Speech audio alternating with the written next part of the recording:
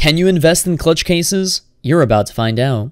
Ah, the good old clutch case. Added in 2018, it is the longest running CSGO case to still be in the common drop pool. There have been several CSGO cases that were released after the clutch case and are no longer dropping as frequently. So what makes the clutch case so special? Two words, Vice Gloves. Well, that and the fact that they are only found in this particular case. Valve have been making a killing on this case. Over 100,000 clutch cases get opened every day. An estimated 4 million clutch cases get opened each month, and that calculation was done last last year. The number should be much higher now. The popularity of these cases is astounding, and it's no surprise that Valve has been milking this case dry. So with all this hype and demand, that must mean the clutch case is a good investment, right? Well, not so fast. The fact that they are still dropping is keeping the price at a ceiling of about 30-34 cents each. And while over time it may wander above that price, it won't really give you a solid return on investment unless Valve decides to remove them from the common drop pool. Instead, what we will have is a volatile case that goes up during spikes in demand and hype and goes down during periods of lows when there is other, fresher content to be consumed. For CSGO investors, it can be a hard pill to swallow, but we just don't have enough information at this point in time to deduce whether or not Valve will remove this case. My best advice to investors is to just collect the clutch cases you get as part of your weekly drops and store them in storage containers. That way, you won't risk losing your hard-earned real-world money into these speculative assets, but you will still have the potential to make some solid gains. Hold on to them for